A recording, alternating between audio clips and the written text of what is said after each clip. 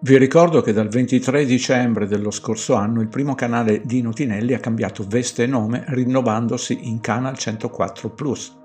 Invito a chi non ha visto il video rimosso da YouTube su questo canale di cercarlo attraverso indice alfabetico sotto la voce Epstein per distrarre le persone, news del giorno della Befana 2024. Il secondo canale YouTube è sempre e rimane sempre con lo stesso nome, Dino Tinelli.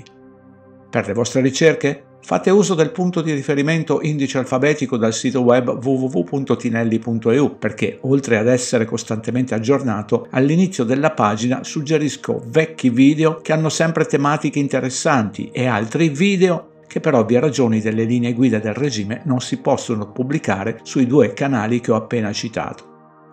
Il libro Il risveglio è sempre in pronta consegna e vi invito a giocare a chi cerca trova. Nella home di www.tinelli.eu se cercate riuscite a scaricare la copia omaggio in bassa risoluzione. Cerca cerca, trova trova. Collaboro sempre con l'esclusivo Canal 104 Plus Telegram, dove vi invito a prendere visione delle tematiche decisamente importanti e, ma solo se vi va, è gradito anche il semplice valore di una buona tazzina di caffè. Ben ritrovati dopo la settimana di fermo obbligatorio. Dalla Sacra Scrittura, conosciuta come Bibbia per coloro che vi si affidano, vi leggo un paio di versetti della nuova Diodati, le altre versioni sono molto simili. Isaia 47:13 Tu sei stanca di tutte le tue consultazioni. Si alzino dunque quelli che misurano il cielo, che osservano le stelle, che fanno pronostici a ogni novilunio. Ti salvino essi dalle cose che ti piomberanno addosso. Anzi, leggiamo anche i testimoni di Geova. La moltitudine dei tuoi consiglieri ti ha sfinito. Si alzino ora e ti salvino loro, quelli che adorano i cieli e osservano le stelle che alla luna nuova svelano ciò che ti accadrà. Dovreste comprendere che coloro che sanno leggere nel cielo conoscono il futuro, nonostante la Bibbia ammonisce di non fare riferimento a qualsiasi tipo di predizione. I lettori del cielo attuale, gli astronomi e gli astrofili, sanno solo distinguere a malapena le luci chiamate stelle, ma non sanno assolutamente nient'altro perché sono stati abbindolati a sapere solo a riconoscerle le luci e dove si trovano nel cielo perennemente uguale da migliaia di anni. E invito come da titolo a mettere i piedi per terra e misurarla, la terra, non il cielo. Un altro versetto non a caso, Isaia 40-26. Levate in alto i vostri occhi e guardate chi ha creato questi astri. Egli fa uscire in numero preciso il loro esercito e li chiama tutti per nome. Per la sua onnipotenza e il vigore della sua forza non ne manca alcuno. Anche qui vediamo i testimoni di Geova. Alzate gli occhi al cielo e osservate chi ha creato queste cose.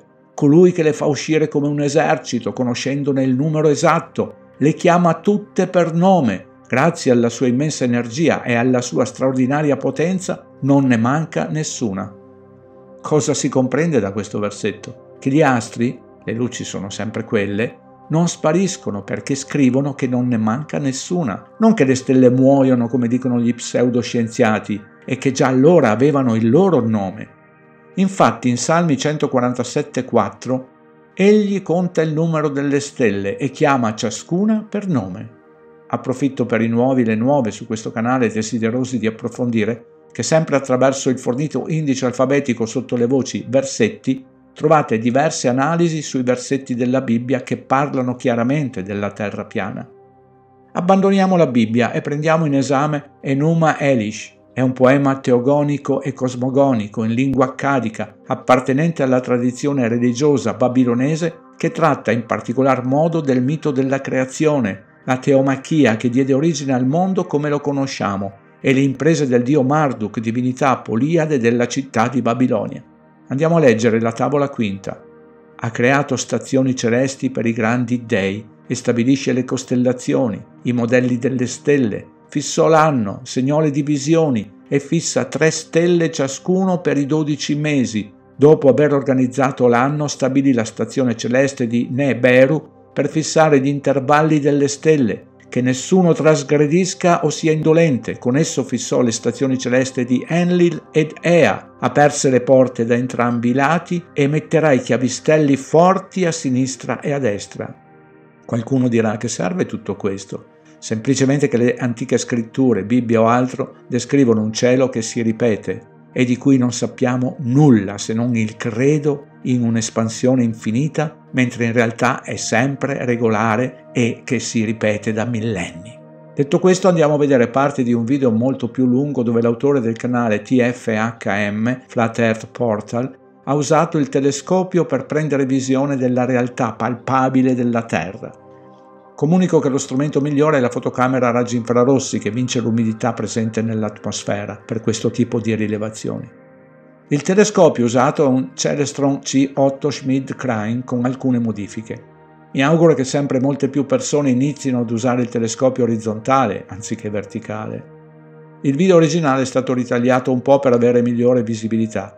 Il video inoltre è ben più lungo e da solo smantella il globo, ma andremo a concentrarci su alcune osservazioni. Iniziamo con la posizione sulla riva del mare del canale Bristol del Regno Unito. Qui potete vedere le coordinate. Google rileva una elevazione 0, ma questo è il video dove ha posizionato il telescopio. Come potete vedere è sopra il livello dell'acqua. Il centro del telescopio, considerando spiaggia e cavalletto, si trova a 1,80 m sopra l'acqua. Il telescopio è qui e la maggior parte della ripresa è stata fatta nell'area di questo rettangolo. Vediamo il video. Già all'inizio il globo è in difficoltà. Il primo edificio che si vede è il CPI Euromix. Questa struttura si trova a 15 km 932 metri. L'altezza dal livello del mare di quella località è 5 metri. Secondo il modello del globo, la pseudocurvatura della Terra dovrebbe nascondere il nostro obiettivo di 9,74 metri, quindi la base dell'edificio dovrebbe essere nascosta di 4 metri 70 centimetri. Possiamo affermare da questo camioncino che passa che nessuna parte dell'edificio è nascosta. Mentre ci spostiamo a destra vediamo il traffico che non si dovrebbe assolutamente vedere se fossimo veramente su un globo. Ad esempio, quando stoppiamo il video con questo camion di fronte alla struttura, il camion si trova a 15 km 563 metri. L'altezza sul livello del mare della strada è 8 metri e considerando che il camion sia alto 4 metri, secondo il calcolo della curvatura del globo, più di 9 metri dovrebbero essere nascosti dalla pseudocurvatura, dovremmo vedere solo la parte superiore del camion. Invece si vede la parte bassa del camion e la riva. Saltiamo avanti fino a questo punto dello scarico dell'acqua nel canale che si trova proprio sulla spiaggia e sta a 14 km e 100 metri. Secondo il globo, circa 6 metri e 800 cm dovrebbero sparire dietro la pseudocurvatura. Non si dovrebbe vedere come si vede qui e non spendete tempo a spiegare che esiste la miracolosa rifrazione per spiegare che il paesaggio si alza oltre la gigantesca gobba del globo. E se siete intellettualmente onesti dovete ammettere che la veduta diretta della spiaggia ad oltre 14 km di distanza sarebbe impossibile su un globo. Andiamo avanti fino a questo vecchio molo, un'ulteriore dimostrazione che smantella l'esistenza di qualsiasi curvatura. Quel punto è 13 km di distanza dal telescopio. Secondo il globo l'orizzonte dovrebbe arrivare solo fino a 4 km 789 metri, ma si vede l'acqua oltre il molo esattamente qui. Ciò dimostra senza qualsiasi dubbio che non esiste la presunta curvatura che blocca la vista della spiaggia opposta. È semplicemente impossibile se vivessimo veramente su un globo. Per chi desidera approfondire ulteriori analisi accurate avete a disposizione le playlist Curvatura ed Orizzonte e Prospettiva perché non vedo fino in America. Il mio sincero saluto e grazie di aver guardato. Dino.